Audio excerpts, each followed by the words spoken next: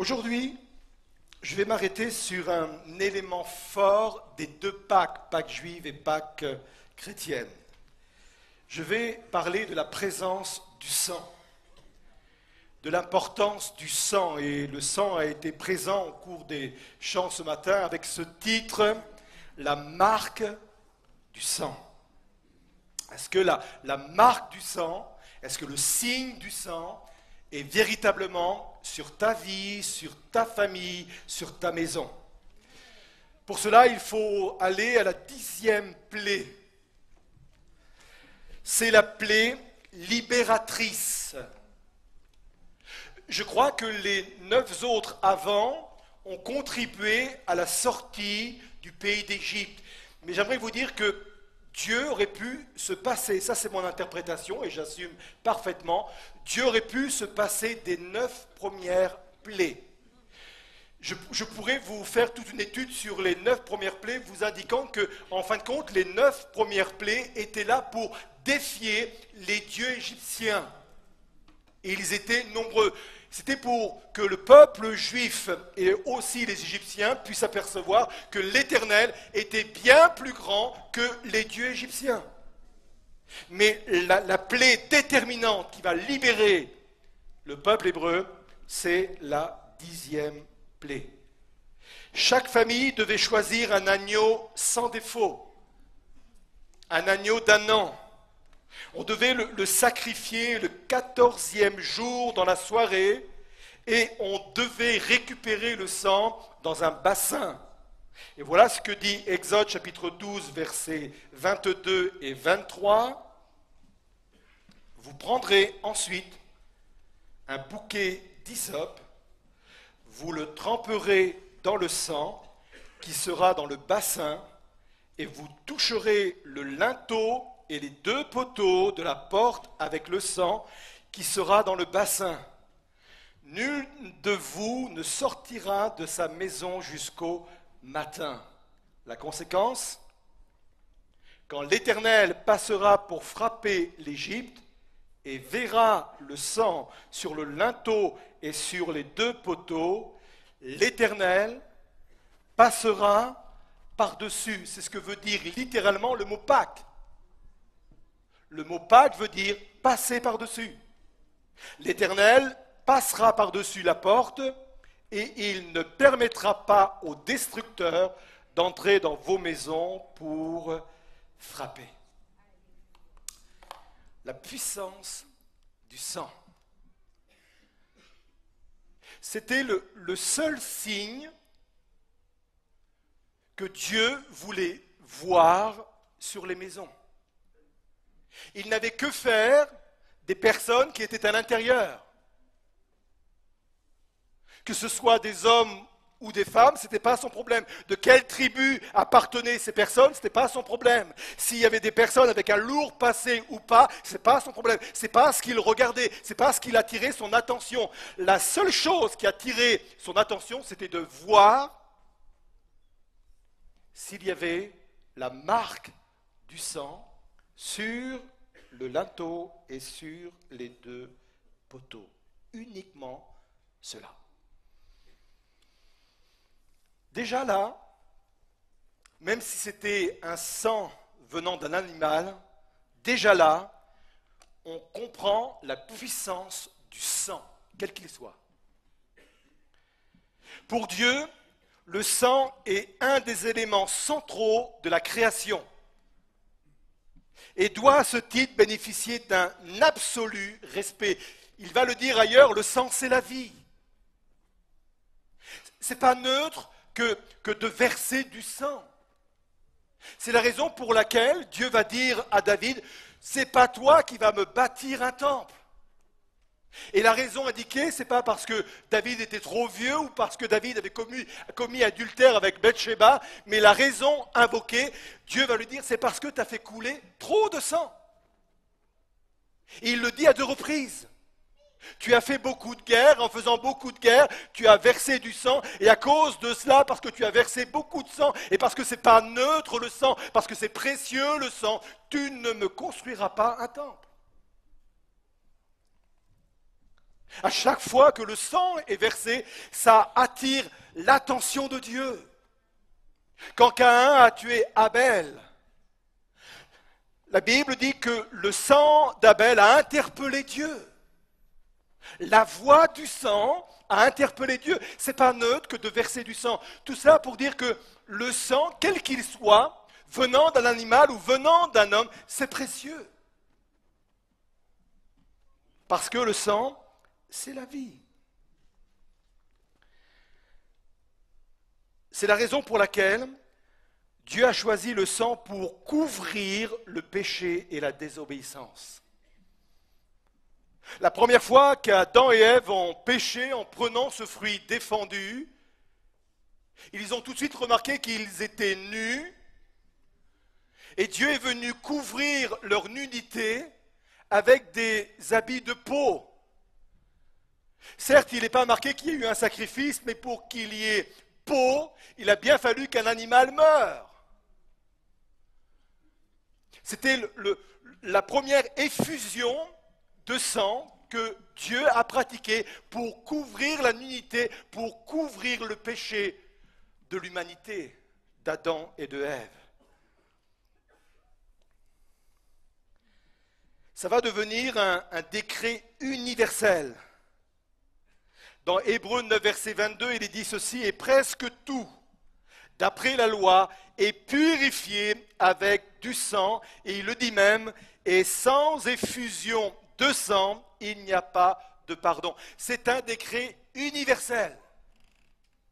Nous ne sommes pas sauvés ou pardonnés par des œuvres, nous sommes uniquement pardonnés grâce à du sang. C'est ce que dit la Bible.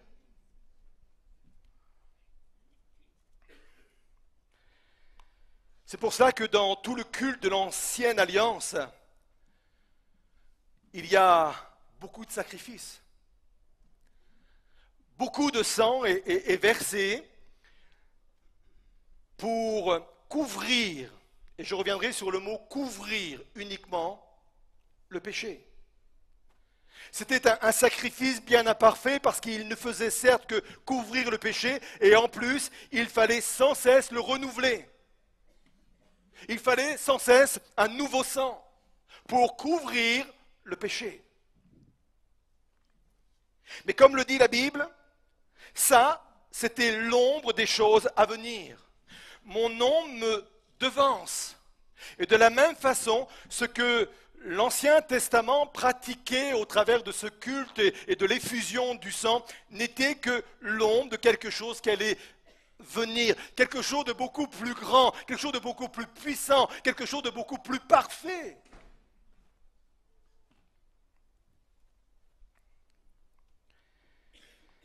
Une nouvelle alliance allait venir.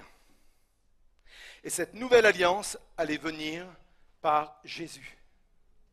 Comprenez bien que le but premier de Jésus venant sur la terre n'était pas de venir guérir des malades ou de chasser les démons. Le but premier de Jésus venant sur la terre n'était même pas de venir apporter un enseignement. Le but premier de Jésus venant sur la terre, c'était de mourir sur la croix. Un chant l'a dit, né pour mourir.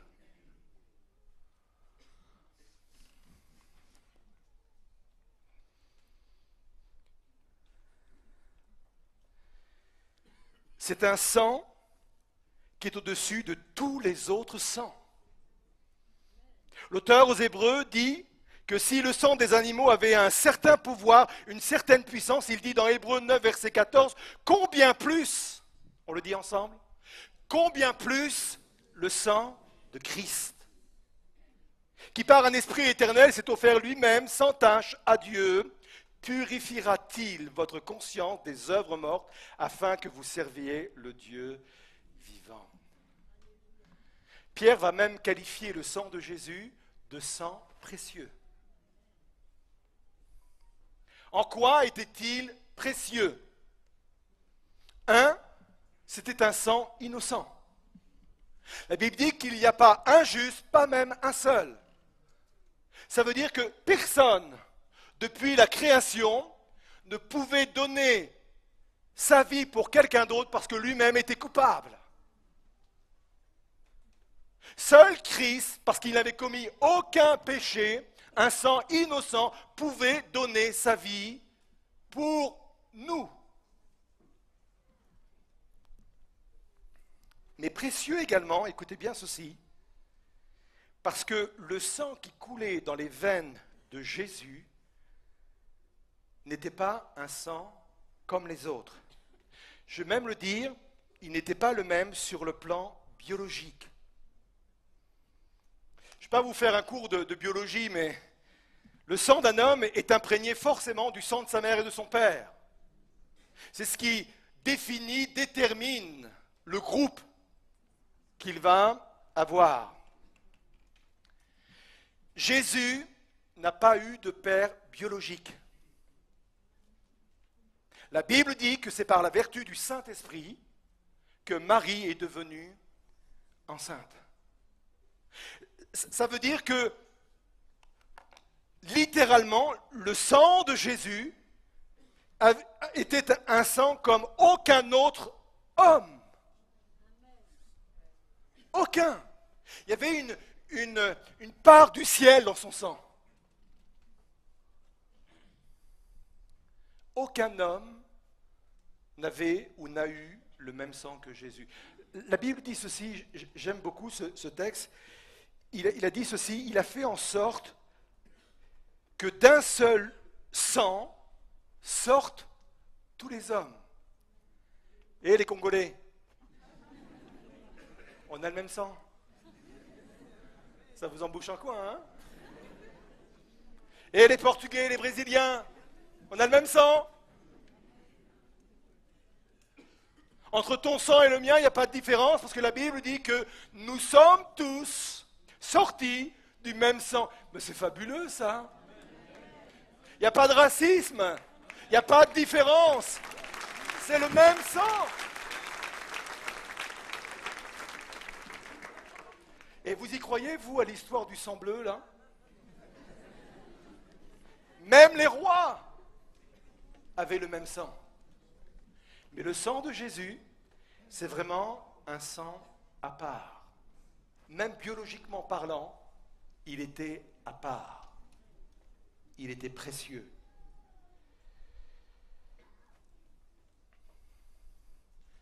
J'ai besoin que ma vie soit impactée par ce sang glorieux qui est le sang de Jésus. C'est ce qui va faire la différence dans ma façon de penser, dans ma façon de marcher, dans ma façon d'être. C'est ce qui va faire la différence. C'est la marque du sang sur ma vie. Et si quelqu'un ce matin est dans ce lieu, et je vais expliquer ce que c'est, mais si quelqu'un est dans ce lieu ce matin et qui n'a pas la marque du sang de Jésus-Christ sur sa vie, il lui manque une tranche de vie extraordinaire.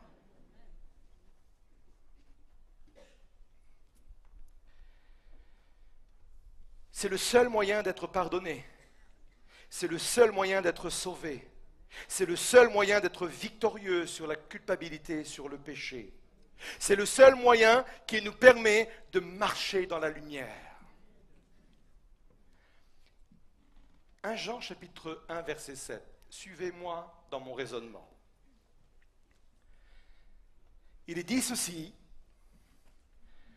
mais si nous marchons dans la lumière, comme Jésus est lui-même dans la lumière, nous sommes mutuellement en communion et le sang de Jésus, son Fils, nous purifie de tout péché. Peut-être que vous n'êtes pas habitué à ce, type de langage, ce type d'expression, si nous marchons dans la lumière. Qu'est-ce que ça veut dire cela? C'est une expression que Jean utilise pour parler des personnes qui se sont approchées de Dieu. Jésus est lumière, donc si je m'approche de Jésus, je vais marcher dans la lumière. Mais écoutez bien ceci, les personnes qui marchent dans la lumière sont des personnes qui ont un sérieux problème. Pourquoi? Plus nous nous approchons de Dieu, plus nous voyons ses qualités et plus nous voyons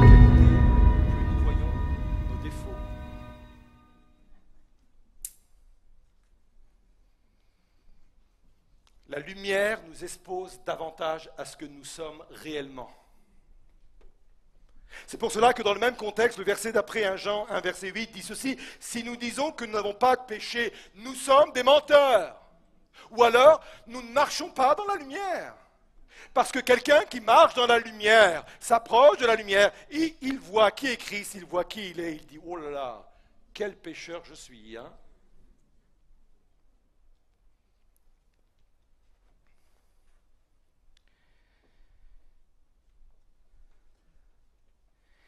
La solution pour marcher dans la lumière, c'est le sang de Jésus. Apocalypse 12, verset 11, et c'est Jean encore qui nous l'explique, il dit comment ça fonctionne. Il dit, ils l'ont vaincu. Le L apostrophe, c'est qui? Attention ce que vous allez répondre. Hein. Vous, me devez un chocolat si vous répondez mal. L apostrophe. Ils l'ont vaincu. Quelqu'un dit le sang, il me doit déjà un bout de chocolat. L apostrophe, c'est l'accusateur, c'est le verset d'avant. Ils ont vaincu l'accusateur à cause du sang de l'agneau et à cause de la parole de leur témoignage.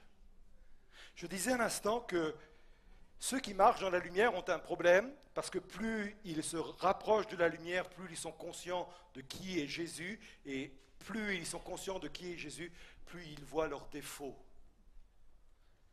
Et vous avez des gens qui vivent sous la culpabilité malgré qu'ils aient vécu la nouvelle naissance parce qu'ils prennent davantage conscients même qu'avant leur conversion ce qu'ils sont réellement.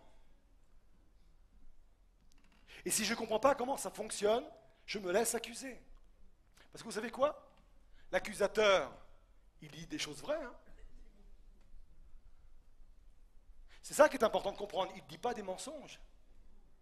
Il dit des choses qui sont réellement vraies dans ma vie. Et si je me défends, me défends en disant non, non, c'est pas vrai, il me dit menteur. Parce que c'est vrai.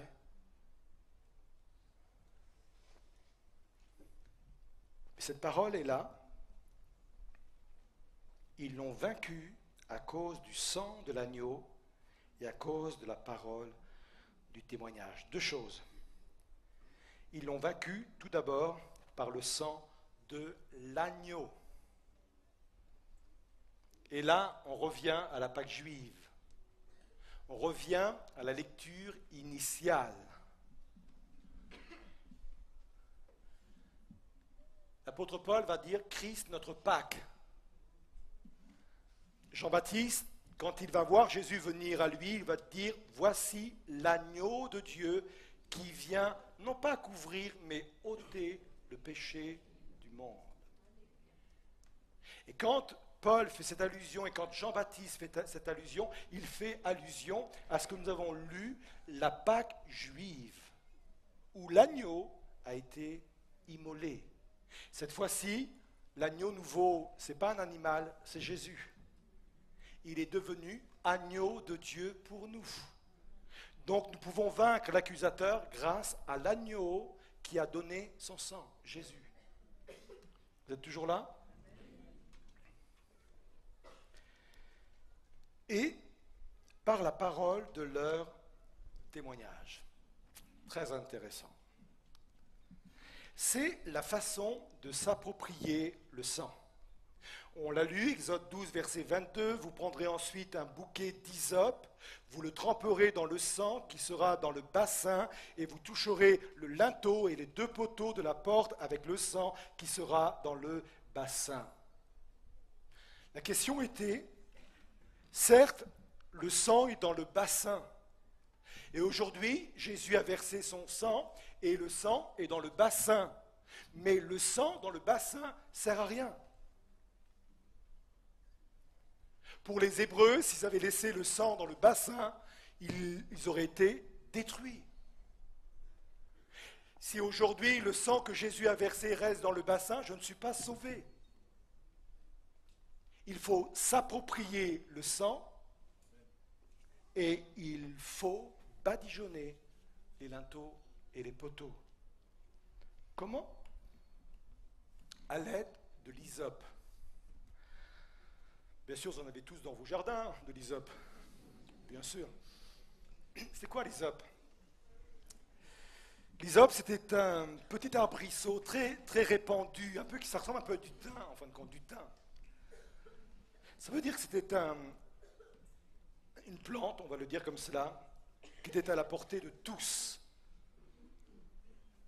C'était quelque chose de très simple à se procurer. Mais cet hysope est devenu essentiel. Sans l'hysope, ça ne fonctionnait pas. Le sacrifice avait eu lieu, le sang avait été versé, mais sans l'hysope, ça ne fonctionnait pas. Et l'hysope, c'est le symbole de la proclamation de ce que je crois, je répète. L'hysope, c'est la proclamation de ce que je crois. Ils l'ont vaincu à cause du sang de l'agneau et à cause de la parole, de la parole de leur témoignage. J'ai cru, dit l'apôtre, c'est pourquoi j'ai parlé. Écoutez bien ceci. Nous déterminons le cours de notre vie par notre bouche et notre langue. Souvenez, à un moment donné, Jacques va parler de ce petit membre que nous avons tous dans la bouche et qui fait, dit-il, soit de grands dégâts ou beaucoup de bien. Il va dire ceci, Jacques 3, verset 4, Voici même les navires qui sont si grands et que poussent des vents impétueux sont dirigés par un très petit gouvernail au gré du pilote. C'est très important. je suis sûr qu'on est tous passés sur ce verset en prenant cela comme une information. Mais il y a une vérité spirituelle derrière tout cela. Un petit gouvernail donne la direction à un grand bateau. Ma vie, l'orientation de ma vie est déterminée par ma langue et ma bouche. Arrêtons de, parler à tort et à travers parce que ce que je dis détermine l'orientation de ma vie. Je crois qu'on ne prend pas conscience des mots qu'on peut dire parfois. J'ai envie de mourir. Je n'y arriverai jamais. Je suis nul.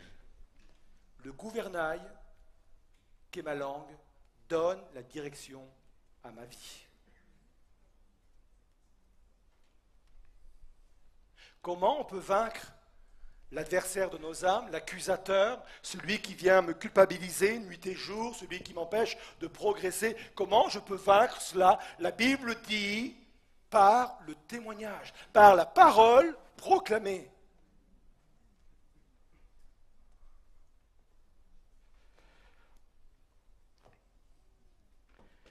Le sang de Jésus nous purifie de tout péché. Quand vous proclamez cela, le diable n'a plus d'argument.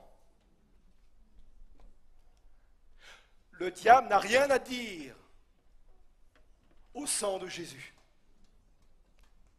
Il a la bouche fermée quand je proclame que suite à ma repentance, à ma demande de pardon, Dieu m'accorde le pardon et je saisis par la foi le pardon. Je proclame ce pardon. Quand il vient m'attaquer, je lui dis, mais mon gars, le sang de Christ me purifie de tout péché et il n'a rien à redire à cela. Même s'il vient dire des choses vraies. Encore une fois. Oui, c'est vrai. Mais le sang de Jésus-Christ purifie de tout péché. C'est vrai ce que tu me dis. C'est vrai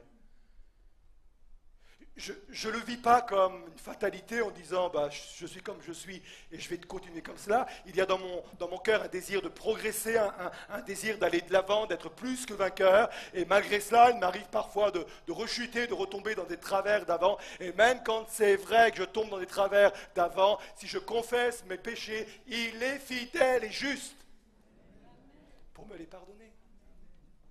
Ça change tout, ça. Ça, ça change tout. Hébreu 12, verset 24 dit ceci, Jésus, qui est le médiateur de la nouvelle alliance et du sang de l'aspersion, qui parle mieux que celui d'Abel. Je le disais, le sang que Calin a fait couler de son frère Abel, ce sang-là a interpellé Dieu. Le sang a parlé. Le sang devait crier vengeance, colère, injustice. Mais le sang de Christ parle également, mais il parle beaucoup mieux. Ça veut dire que Jésus, avec son sang, plaide auprès de son Père. Et ce sang dit purifier, pardonner, justifier, délivrer. Le sang de Jésus parle. Et le sang de Jésus veut encore parler ce matin. Apocalypse 1, verset 5. Tu connais John, hein, ce verset? À celui qui nous aime, qui nous a délivrés de nos péchés par son sang. Tu le connais parce que tu l'as mis en musique, et c'est un chant que l'on connaît bien. John écrit beaucoup de petits chœurs, y compris euh, Quand les montagnes, pour ceux qui connaissent, et d'autres. Mais celui-ci, nous le chantons régulièrement dans nos cultes. Et j'aime quand il est dit à celui qui nous aime, qui nous a délivrés. Littéralement, déliés. Et je reviens à ce que je disais, le sang d'un animal ne faisait que couvrir le péché. Jésus, l'agneau de Dieu, est venu l'ôter. La, puissance du péché sur ma vie, la puissance de la désobéissance sur ma vie peut être déliée, parce que le sang de Jésus-Christ ne vient pas seulement pardonner mes péchés, mais il vient délier le péché avec lequel je suis en train de me battre, dans lequel je tombe et retombe et retombe régulièrement. Il est venu par son sang le délier. Il est venu m'en délivrer. Et ça, c'est puissant. Alors oui, on va le proclamer ce matin. Le sang de Jésus vient me parler. Je ne sais pas où j'en suis, je ne sais pas où vous en êtes, pardon, dans, dans votre situation. Je ne sais pas à quel point ce message est venu percuter votre vie, mais je crois ce matin qu'il faut qu'il y ait à tout prix sur vos vies, vos maisons, vos familles, la marque du sang. Un sang qui vient crier, pardonner, justifier, purifier, délivrer. Et à vous de le saisir par la foi avec l'hysope. Oui, Jésus est mort sur la croix il y a 2000 ans, mais si je ne m'approprie pas le sang, il ne me sert de rien. Je saisis par la foi le sang et, je, je, me mets sous ce sang et non seulement je, l'utilise, je me l'approprie, mais en plus, je proclame de ma bouche que si je confesse mon péché, il est fidèle et juste pour me pardonner, pour me purifier, pour m'en délivrer. Je vous invite à vous lever à vos places. Et on va faire plus que entendre, écouter une prédication sur le sang. On va le vivre ce matin. On va le vivre. On va proclamer que le sang de Christ parle encore ce matin.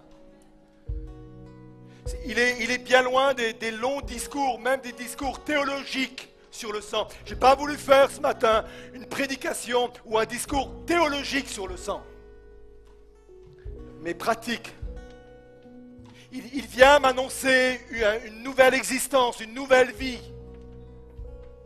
Il vient m'annoncer que l'accusateur n'aura plus de prise sur ma vie. Il vient m'annoncer que non seulement il vient pardonner, purifier, mais il vient délier la puissance du péché sur ma vie. Pour qu'il n'y ait plus d'emprise. Là où j'étais obligé de succomber, là où j'étais obligé de devenir esclave, il vient me délier tout cela. Alors oui, on le proclame. Ton sang ce matin parle encore. On le proclame ensemble.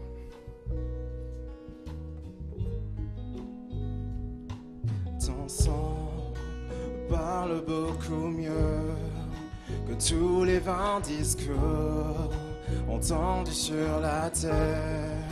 Il parle pour ma défense, proclame la justice. Jésus, c'est ton sang.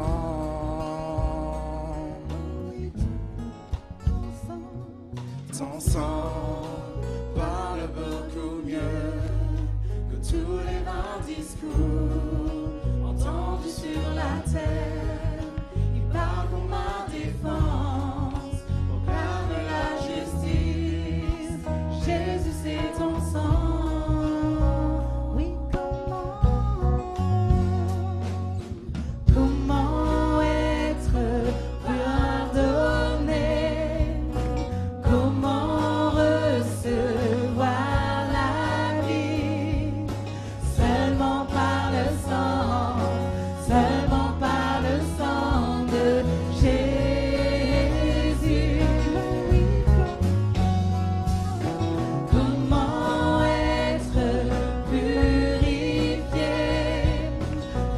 see.